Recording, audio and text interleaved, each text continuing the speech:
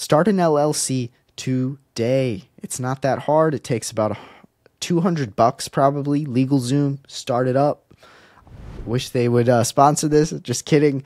You know, whatever state you're in, you quick type in whatever business is, you select LLC, which I could walk through. It helps limit the liability from you. So if there's any ever any kind of emergency, you personally cannot be sued. Your assets cannot be taken. It's the businesses. The business's money is separate. Gives you a lot of shelter, gives you a lot of tax benefits. Either way, it's a beautiful strategy because once you've signed that LLC and you have that EIN and you ha- have to report it on your taxes, you now are more incentivized to be like, huh, I have a business. I should start. But either way, put your phone bill in there, put your car insurance in there, put some of your rent in there. If you have a home office, ask your accountant about all these tricks. It's beautiful. Also, any loss that you take on the podcast, or geez, I'm talking in my own personal experience, but any loss you take, like let's say you invested money into the business, a few thousand in one year, it's just going to be subtracted across your income and you're going to owe less taxes at the end of the year. It's it's something that's beautiful and you're going to you're going to learn and this money that you're using is going to be non-taxed. It's pre-tax money that you're able to use and spend ex- for expenses. So it's very nice. Another beautiful quote. You do not become wealthy by renting out your time for money. This is by Naval Ravikant. And it's so true. Even if you're a doctor or a lawyer, you're not going to be necessarily financially free because if you can't go into work for two to three weeks, your income is now destroyed. You now have no income because you need to be there. Whereas if you have ownership in a company and have created systems underneath you, you now have that financial independence. You now have the freedom to live your life the way you want to. You're not necessarily free if you're slave to the same location five days a week, a third of your life. You're not free. No matter how much money you have, time is so much more important.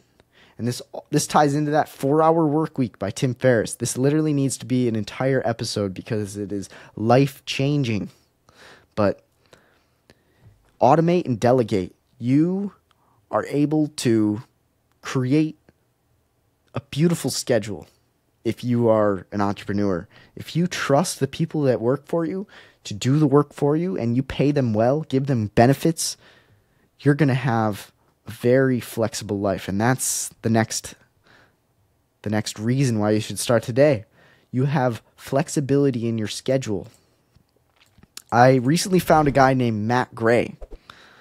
And you can look him up on instagram. There's another matt gray that i looked up and it, it's not non-related but either way he started this community called herb and another course called founder os and honestly, after finding his Instagram page, I've been so motivated and so inspired to delegate and automate more of my systems, whether that be at my mother's business or at in my podcast venture or the other ventures that I talked about earlier that I have under the rug ready to go. Systems are everything. And when you're able to build build beautiful systems into your life and into your business, you now have that ability of time. And that's the thing I was talking about earlier. Time is so much more valuable than money. Let's say the doctor makes 160K but works 70 hours a week versus the person who makes 80K working five hours a week. It's like, think about that. The person made half as much money, but they spent what is this? 140. What is that? No, no. Geez, I can't even do math. It's five times. It's like five times 16, 17. Either way, it's a big multiplier in how little time they're spending versus the doctor. It's like the doctor spending like 15 times as much time and make for a 2x return. It's like time is so much more valuable. And honestly, don't put a label on what you're what you're worth because you never know what you could be worth. You could be worth something that you never would have imagined. So don't limit yourself. And that's the power of starting today. Start now. And here's something that's kind of beautiful. When your friends invite you on a week trip randomly in the middle of summer, winter, whenever, can you make it happen? Or do you have to say, no, let me check my schedule, but I'm pretty sure, yeah, no, I have work. I can't get off. I only have two days, two weeks vacation, and I already have that planned out other places. And it's like, hmm, too bad, you know? That's okay. I will be there. I'm going to make it happen. And that's kind of the beauty of being a business owner. You have that power. You can do that. And like my roommate and I are going down to Alabama with a few other friends from high school.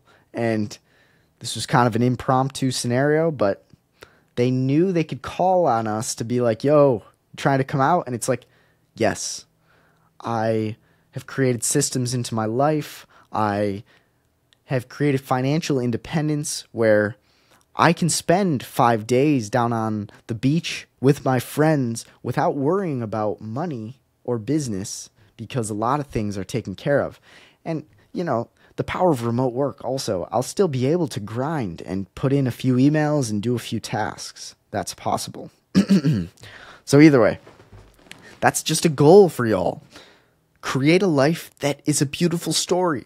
What kind of story is I went to the factory five times a week for 45 years and I got kind of fat because I became so unmotivated and the the factory wears me out every day and I almost have no time that feels like to do anything that I really enjoy and on the weekends I'm still trying to recover and then I spend money on the weekends to kind of feel better about myself and to kind of splurge because I deserve it but then I stay in the same situation and it's like create the life. You got a rectangle in your pocket.